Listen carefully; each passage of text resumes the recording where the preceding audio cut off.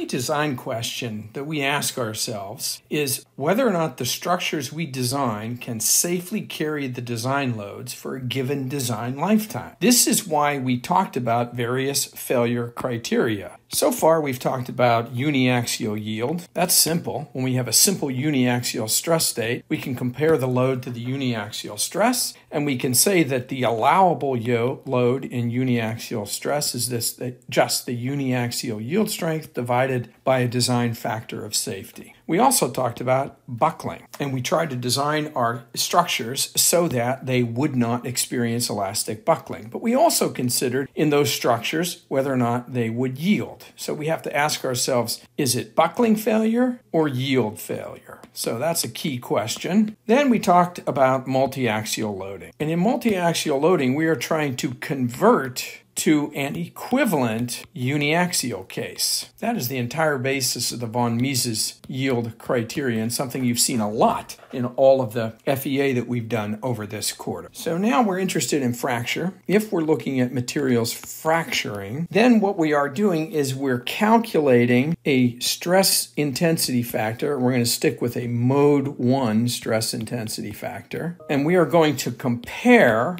K1 to K1C, which is the mode 1 fracture toughness. The mode 1 fracture toughness is a material property, and the stress intensity factor is simply the stress times the square root of pi A, and we're going to set that equal to a K1C. But there's another factor that we have to add here, and that is there's going to be a factor out front, which we call beta. It is a geometric correction factor. And this geometric correction factor arises out of the fact that we will have finite plates of finite dimensions. And it may turn out that our defects in our samples, the width of our plates would be finite, and our defects, if they're fully embedded within the plate, are going to be of length 2a, but they can be off center and that's going to affect the stress intensity factor. We would get some beta for that. Well, what if we have a sample that's of width W and it has an edge crack of length A? And these things are loaded in tension, so we're looking at mode one opening stress intensity factors. We're going to get a different beta for that. What if we have a sample of width W and it has edge cracks on each side of depth A. Well, we're going to get different betas for that. So we have to look up the beta to properly calculate the stress intensity factor before we compare it to the fracture toughness for that given material. So that's an important extra step that you must take. Now, it's uh, also important to think about the form of this stress intensity factor. So we know this. We know that if you did a bunch of experiments that you could measure the mode 1 fracture toughness and it would be related to beta times the stress you apply times the square root of the defect size. And then we could plot stress as a function of defect size, and what we would find is a curve that looked like this. That curve is going to be equal to K1C divided by beta root pi a. It falls off according to this power law relationship. And given a fracture toughness of a material and a flaw size, if you keep the stress below the line, so this is safe operation down here, and up here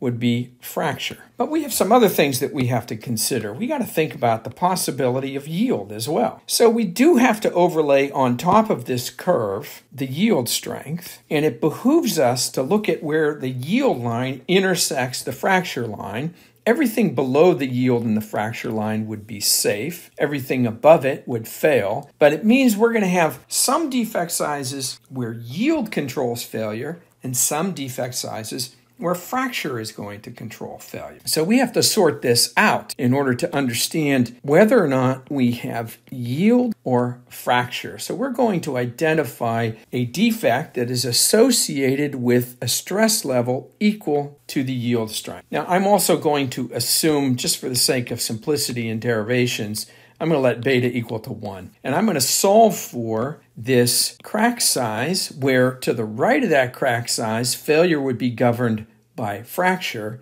To the left of that crack size, failure would be governed by yield. I am going to then take this equation where K1C is going to be equal to the stress. Remember, beta is equal to 1. I'm going to let the stress be equal to the yield strength. I'm going to multiply that by pi A. That A is now my A0. I solve for A0 and I get K1C squared over SY squared 1 over pi. That becomes an A0 value. And so if we have a structure and we know the fracture toughness of the material from which it's made, and we know the defect size that we're curious about, and we also know the yield strength of that material, then if our defect A is greater than A0, failure is governed by fracture. If A is less than A0, then failure is going to be governed by yield. So, this is important because it allows you to figure out whether or not you have a fracture problem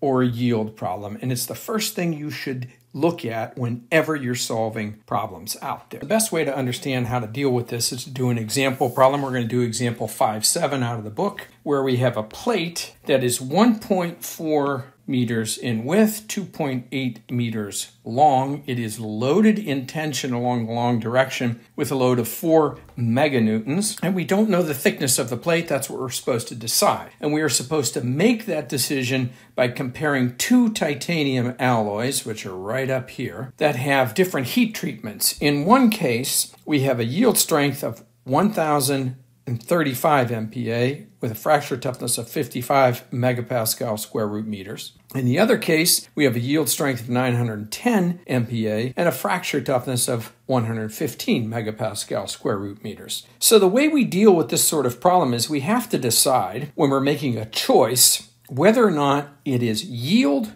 or fracture dominated. Now, we have another thing in here, and that is that there is a, an inspection method that can identify edge cracks that have a depth A of 2.7 millimeters. So that's the resolution limit. So we're going to use that as our defect size, and we're going to decide whether or not we have yield or fracture in each of these two alloys, alloy 1 and alloy 2 up here, and then make a decision about what the dimensions would be. The other thing that the problem is asking for is which alloy would give you the lightest weight material. Now, they're both titanium alloys, so they're going to have the same density. They just have different heat treatments, which changes the yield strength and the fracture toughness. And so the thinner alloy will be lighter. If we have yield failure, then the allowable stress, which is just my applied load divided by my cross sectional area, is going to be my yield strength div- divided by the design factor of safety. In this case, the design factor of safety N is 1.3. If we have fracture,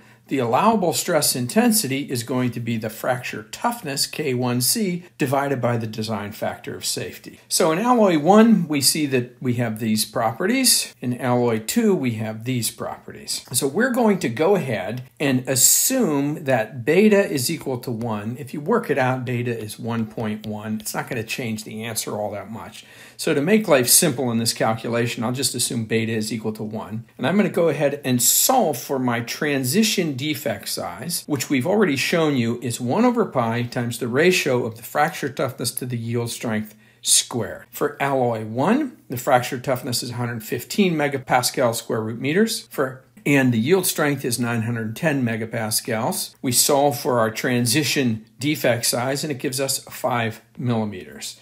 For alloy 2, we have 55 megapascal square root meter toughness and 1035 MPa yield strength, which gives me a transition defect size of 0.9 millimeters. Now, my measurable defect size is 2.7. So you can see that in case 1, the defect size of 2.7 is less than, so 2.7 is less than 5 millimeters. And so we have yield dominated behavior in that case. So we're going to design based upon SY. And in case two, our defect size, 2.7 millimeters, is greater than the 0.9 millimeter transition defect size. So this is a fracture dominated problem. So what we do then is under the yield dominated scenario, we say that our stress which is our load divided by cross sectional area. Well, what is our cross sectional area?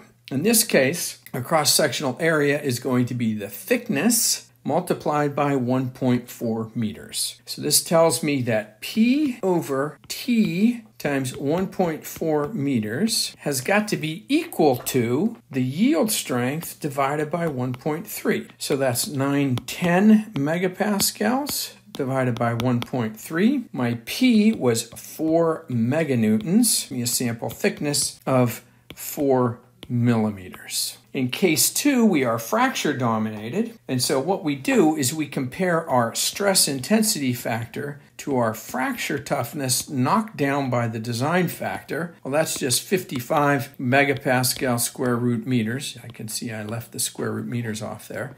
Divided by 1.3. And my K1s is just sigma root pi a. That's going to be equal to this 55 over 1.3 megapascal square root meters. My a is going to be my defect size, which is 2.7 times 10 to the minus third meters. And my stress is just going to be P over A. That's going to be P over W times T. That's going, and I multiply that by pi times 2.7 times 10 to the minus third meters. It is equal to 55 over 1.3 megapascal square root meters. You have to be careful about the units when you're doing this. You solve for T, P equal 4 meganewtons, and W equal 1.4 meters. That gives me a plate thickness in this case of 6.22 millimeters. So case 2 requires a thicker plate than does case 1, so we will choose the material from case 1, which will be a yield dominated failure, and it gives me a plate thickness of 4 millimeters.